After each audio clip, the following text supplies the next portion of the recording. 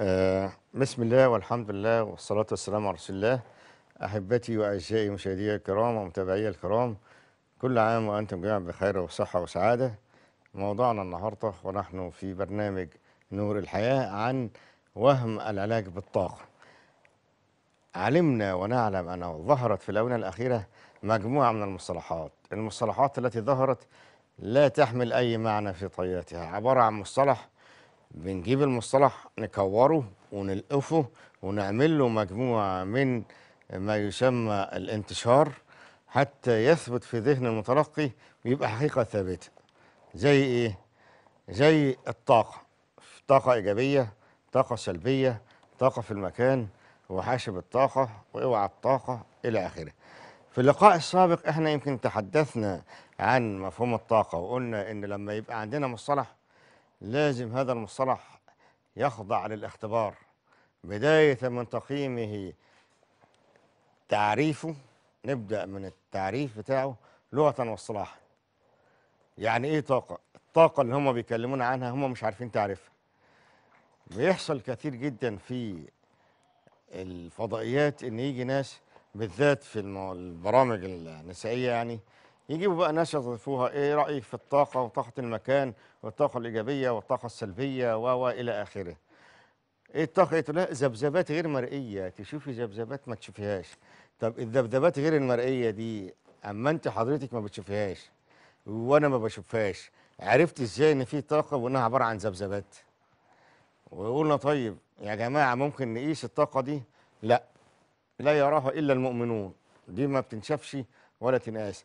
لا ترى لا بالعين المجردة ولا بالمجهر ولا بالتلسكوب ولا حتى بأي حاجة تانية. إذا هذه الطاقة لا ترى يعني عايزين يقنعونا أن في طاقة غير مرئية وغير منظورة تؤثر فينا وتجعلنا متلخبطين ومش عارفين شمالنا من اليمين وقاعدين محتاسين.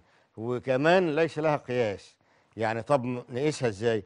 إحنا عارفين إن كل حاجة تخضع للقياس إذا كان عندي ما يمكن القياس به يعني أنا عايز أقيس الطول هيبقى بالكيلومتر أو بالمتر أو بالسنتيمتر. إذا كان هذه المسافة التي تقاس بالمتر في البحر مش هيقيسها بالكيلو هيقيسها بالميل أو مثلا بالمحري الميل البحري. وإذا كانت هتتقاس افق آه، رأسي يعني راكبين طيارة يبقى المسافة من الأرض للسماء مش هيقيسها بالمتر. انما بيقيسها بالإيه؟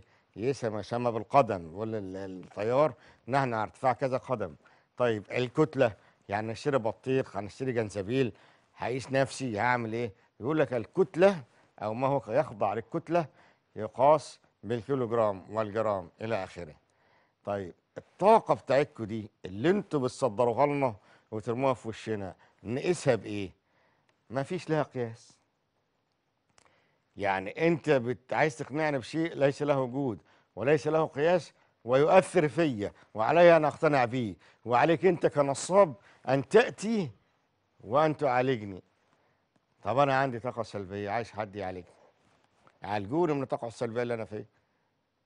يعني إحدى هنا تيجي تقول لك إيه أصل أنا لازم لما أروح أمسك الكرسي بتاعي وأرشه وقلت هذا في اللقاء السابق يعني لازم نلفه بالفلفل والكمون والشطة وال وال والخل والزيتون عشان خاطر إيه؟ عشان خاطر تبقى حاجة جميلة وحلوة وتهرب. طب انت يا حاجة انت ليه بترشيه بالشطة والكمون؟ تقول لك ما عشان أشطشط الطاقة تبقى الطاقة متشطشطة وعلى وبعدين الكمون فايدته إيه؟ تبقى تكمن تبقى طاقة كامنة. هنا بقى إيه؟ راح ترشها بالايه بالشطة والكمون والفلفل والخل والزيتون والكلام اللي إيه؟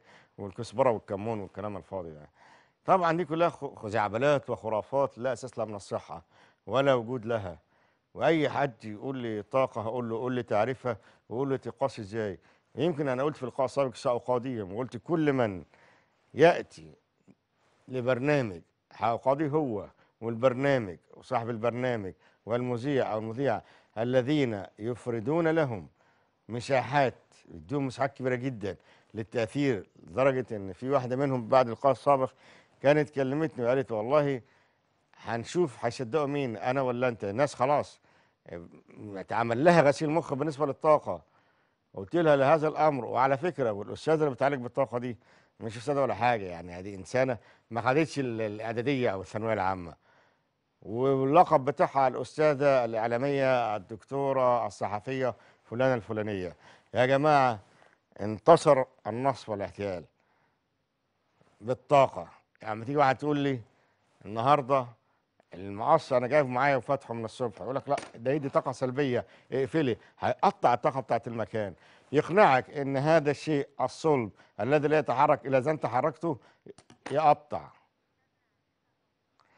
آه هنطلع فاصل قصير ونعود إليكم بعد الفاصل.